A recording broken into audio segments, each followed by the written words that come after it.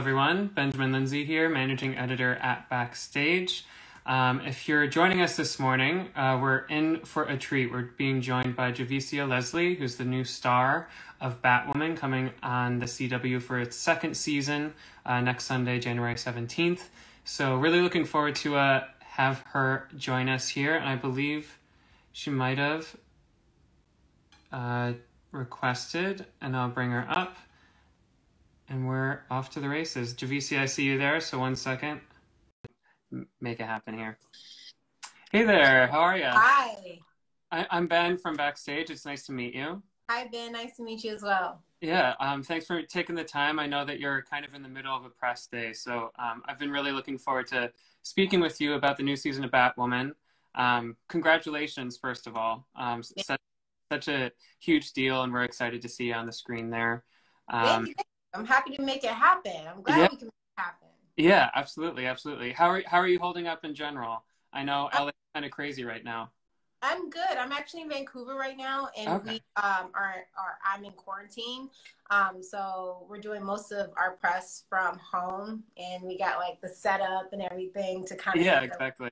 A little bit more seamless, but other than that, you know, I'm as good as you can be right now. Yeah, fair enough. So, so when do you get off uh, to filming? Are you're in quarantine now? So a couple weeks from now, or? Yeah, my first day back is the 19th. Gotcha. Okay. Awesome. Um, well, uh, again, really excited to see you as this new character, Ryan Wilder, for season two of Batwoman. Um, just for our audience today, how about you tell us a bit about Ryan? She's new to the franchise, so uh, what can you tell us about her? So Ryan is kind of like, you know, I, I feel like she's kind of like your girl next door, depending on what neighborhood you live in. um, she, you know, she grew up in the foster care. She grew up in foster care, and then she kind of went from home to home. Her mom died when giving birth to her. Uh, when she was in her early teens, she was finally adopted by who she considers her mother now, and life is just going really good for her finally. Um, and then her mother was killed in front of her. Wow. And it kind of changed her life. And, and, and um, she ended up kind of reconnecting with some old friends that weren't really good for her. And um, because of that, it led her to have to go to jail for 18 months for a crime she didn't commit. Mm. So came back out, it was really difficult for her to, you know, um, get back on track. It was difficult for her to get a job. It was difficult for her to um, get a house. So she started to live out of her van. Um, and then she stumbles on the bat suit. and um, I, I, believe I feel like when she first gets the bat suit, it ends up being her way of getting vengeance on mm-hmm. a city that has turned its back on people like her. Um, but as her journey goes on, she really becomes the hero that Gotham needs. Oh, that that's. I mean, what a backstory for you to play with. First of all, I mean, I feel yeah. such a juicy role for any actor. Um, so, so, what was the process like for you to really uh, find Ryan as an actor, um, to, to really figure out what she's going to look like on screen and uh, make it happen? So, for me, you know, I got cast uh, July 9th. And literally, as soon as I got cast, um, Caroline Dries, our creator, mm-hmm. her and I got on a phone call. We started to break down Ryan's background. And with that, I was given all the ingredients that I needed. And from you know, July 9th till September 3rd when we started filming, I spent an hour a day or hours a day at time at times um, just jumping into the world of my Ryan life. I take um, Diana Castle's The Imagine Life. Mm-hmm. And so with that class, it's all about um, really creating the world, really diving into it, feeling everything. I saw myself when I was in foster care. I saw my mom die in front of me. Um, I saw myself when I was homeless and looking for a place to live. I, I, remember when I found my van and just really filling in all of the history. That way, when mm. I showed up to play, I was supported. Um, to the point that sometimes when Caroline and I talk, I, I tell her things. I'm like, well, you know why that happened, right? Well, back when she was 16 years old, Caroline's like, wow, you're. I'm like, yeah, I am. not bad, not bad. I, I of course was uh, considering that we're speaking for backstage. I was going to ask about your training and just kind of your process, and it sounds like that imagined life approach uh, is really informative to to what you're doing. Um, for me, you know, everyone I feel like probably has their own process, but for me, it, it's really supportive. It mm-hmm. makes me feel brave in everything I do because I already I'm I am Ryan, and there's nothing you can tell me is wrong because I am Ryan. So if anything, just you know, when it comes to working with the director, it's just about telling the story for the episode. Mm-hmm. But it doesn't change the work that I've done to support me as my Ryan life. And it just makes it fun and fearless and allows me to do things I probably would be scared to do had I not been so supported, you know? Yeah, yeah, absolutely. At, at what point did you uh, kind of pick up that process? I know that you have quite an interesting road to Hollywood. My understanding is that you were living in DC for a while before just picking up and moving out there. So when did you yeah. start your craft in that way? So um, I went to Hampton University mm-hmm. um, in Virginia, Hampton, Virginia, and there I I started. That's really where I started to act. That's really where I started to learn how to act. That's really where I started to learn how to play on stage. But that's also where I started to realize that I needed because it was a therapy for me. Mm-hmm. And um, my my my play director Lisa Evans, we did this play called For Colored Girls, and doing for colored girls it allowed me to be able to fully express myself in so many different ways in one play because mm-hmm. i'm one person in the in the play. I'm I'm, I'm lady in red. But lady in red represents so many different women and like the, the play is actually a choreopoem. So i'm i i do basically little mini mini plays within the play. Yeah. um, and it allowed me to really be able to just be all of these different characters while being under this one house and really be able to express myself. And I found myself needing it every time I walked away. Like every mm. time we were we were done with rehearsal, I was just like, but I want to go back. Yeah. You know, because that's where my safe haven was. That's where I felt like I could express myself fearlessly. Um, and then when I graduated from Hampton University, I went back to DC and I needed it. And so I, I linked up with my friend Dennis Williams and we created a play that I directed for him. And wow. it was just so much that I just wanted to stay active with. So my job, I was working for the Army, my contract came to an end. And I took it as an opportunity to be able to go to LA. And you know, when contracts come to an end, they have to pay you. So mm-hmm. I took it as an opportunity to go to LA and still have some kind of income while I was there, I met my manager literally the the first month that I was there. Wow. I, I auditioned for her, and it's so funny because I come from a theater background, so I auditioned for her with a monologue from Chicago. Okay. She's like, "Okay, let's bring it down just a little bit. This is film and television." right, right. um, and then from there, you know, I, I found my well, she found my agency, and I've been only with one other agency before this agency I'm with now, which is Stewart Talent. And I, you know it's just been like this process this journey. And i started with uh, creator studio which is an amazing studio. I think most actors that first move to la should start with creator studio because we do on camera work. And i think that that's really important in class. A lot of classes don't do on camera work and it allows you to see the things you do the mm-hmm. little things that you do. That can be distracting as an actor as a film and television actor um, and then after I did that for a while, I was on, I was with Creative Studios for probably three or four years, and then I moved with um, with the Imagine Life that I felt like helped me more with my my connection to bring the humanity to all of my lives when mm-hmm. I play. Um, and then from there, I started doing uh, television. I did a Lifetime movie called mm-hmm. Killer Coach, MacGyver. Um, my first series regular role was God Friended Me.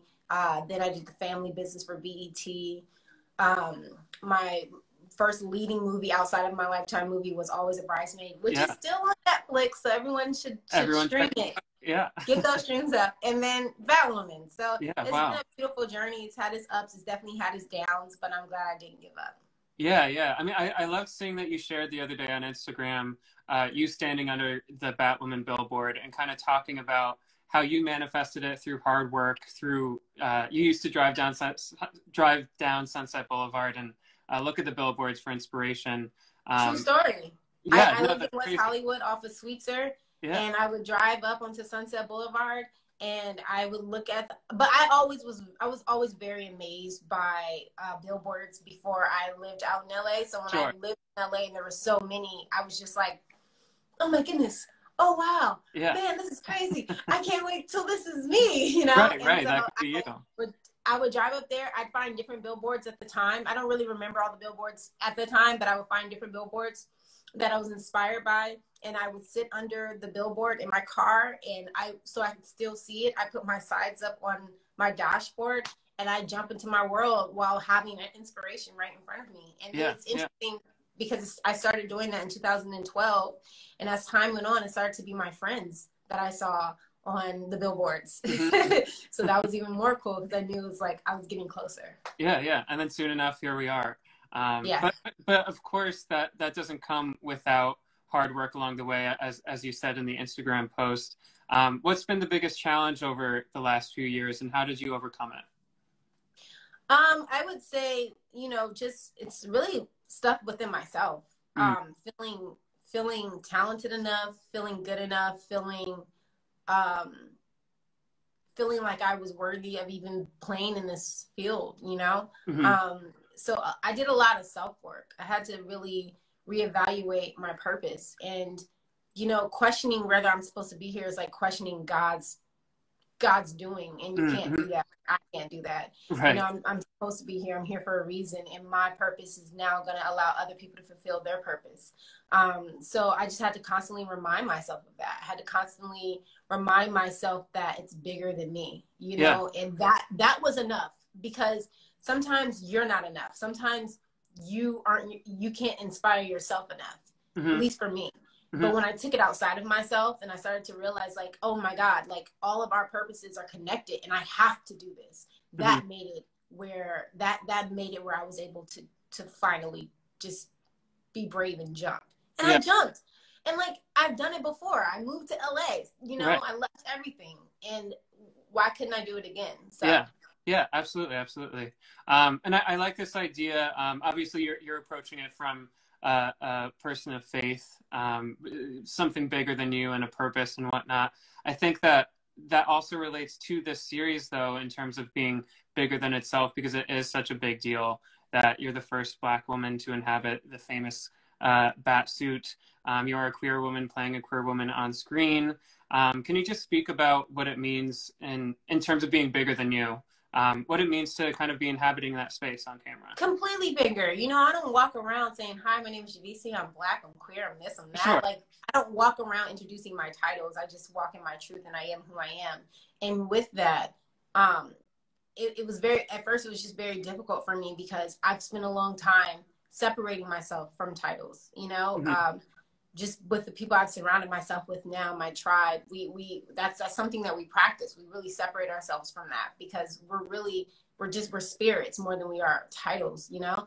Um, but I understand the power of them because unfortunately our world is all filled with titles, and because of that, you know, it's it's allowed titles to be the thing that divide us in a negative way mm-hmm. versus mm-hmm. uplift us. And so I remember growing up and not seeing women that look like me on the screen, especially in action, especially in action. I don't really think we fill up the screen in action now. I think it's very, you know, far and few. We have some mm-hmm. amazing mm-hmm. women that are doing it. Viola Davis now is doing the Woman King, and we have, you know, um, we have Regina King, and we have we have them now, but it's still not in abundance as it yeah. is in other other races, you know. And I just think that for me, it was very important that little girls, little boys, little people can now see another person that looks like them on screen doing a role that they feel like that like that is connected to them because mm-hmm. when I was growing up, I was very connected to the Bat- Batman uh, franchise. I, I, mean, it's the most epic franchise in, in the superhero franchise. You know what. I mean? And it's Batman. Come on. So it's just like to be able to see a black superhero play either of those roles is very epic, and I feel like it's it's necessary, and I'm I'm, I'm honored to be able to play it. You know, Batwoman is gay in the comics, and so mm-hmm. they were already breaking down doors with that, and I love that that was already the case. And so mm-hmm. now to bring in a woman of color to play the role, um, I just feel like it's more inclusive. It's it's here's the thing, and this is something that I think is really important to understand. The bat, the, the suit itself already represents a hero. Right, right. You know what I mean? Anyone can put the suit on. Anyone. And it's like, why can't we all be a hero at, at some point? Why can't we all play this superhero at some point? I don't think that there should be a race that's connected to these superheroes. Yeah. Um, so I'm just, I, am really happy to be a part of this journey. I'm really happy that, you know, um, there, you know, my grandkids will be able to say, my grandma was Batwoman, and yeah. there are some little girls that are going to be able to say, "Oh, I remember when I first got cast there was this little girl with this big curly afro. Mm-hmm. She said to her dad, Hey, dad, that woman looks like me. Yeah. That's yeah. just not a common thing. So I love that we're able to to represent a very underrepresented community. Yeah, absolutely. I, I love that you're speaking about it with reverence, but also acknowledgement that it's just the way that it should be. There shouldn't be a first in, in, in that sense. But um, it, it, it is a big deal. It, it's a big deal, and congratulations on that. Um, in terms of taking up the action space, you also mentioned that, uh, or uh, I'm aware rather, that you do your own stunts on the show. Um, yeah. Can you tell me a bit about that, just in terms of that prep work and what the challenges to doing those stunts were? So um, I was already studying, you know, Muay Thai and bow staff before I booked the role. I'd started studying Muay Thai, I believe, two years before that, mm-hmm. and then bow staff we started to incorporate in our training um, within the year. Um, so, and then when quarantine happened, I was really mm-hmm. just able to play with all of that. Um, so when I booked the role, it was kind of like a coincidence that it all kind of connected like mm-hmm. that and it's so dope because really when you're when you're already studying any type of form of martial arts you start to speak a language mm-hmm. um so when i came to the stunt team we we already started to, we already knew what each other were talking about. We already spoke the same language, and yeah. it made it so much easier for us to do our stunts and our choreography. Um, now, don't get it don't get it twisted. I am unable to do all of my stunts, obviously. Sure. One because of time, two because of just ability. You know, my yeah. stunt double Aisha is just like amazing. She's like doing all kinds of crazy things. But what I love about my stunt team is that they have so much trusting me to allow me to do so many things. Like I'm the one that's always flying in and out. You know, I do my mm-hmm. own fights. Um, I do a lot of my stuff. Like the only thing I can say that probably isn't me is when there's a flip involved because okay. I have like this fear of like breaking my neck trying to do a flip. yeah, yeah, that's so, not great.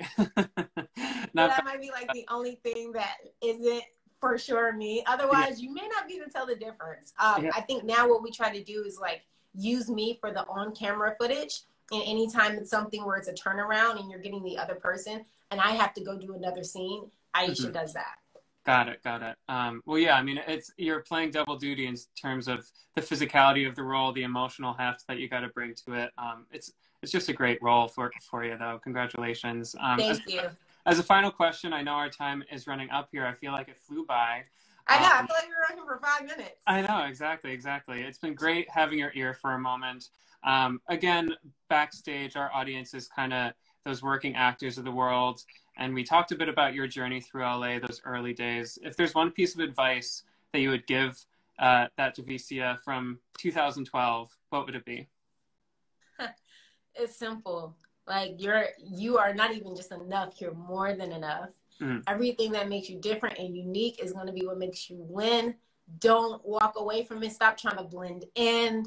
Don't try to be like anyone else. Stop trying to find actors that you admire to emulate. Mm-hmm. Be yourself and be the higher and best version of yourself and constantly continue to contribute to your craft, continue to grow in your craft, continue to take classes, continue to build on other types of form, forms of art because it's all going to it's all going to be included. Like I started to mm-hmm. learn the guitar and then I did a role that included playing the guitar. Like just constantly build on your craft and understand that everything that you do to build on it is going to play at some point in your mm. career. Mm.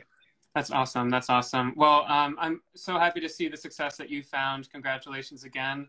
And uh, really looking forward to the second season, seeing what Ryan gets up to on the Thank you. Everyone's Thank tuning in again. Me. That's uh, January 17th. Yes. Uh, on the CW. Um, so 8 p.m. And uh, thanks for your time. Congrats. Thank you. Bye bye.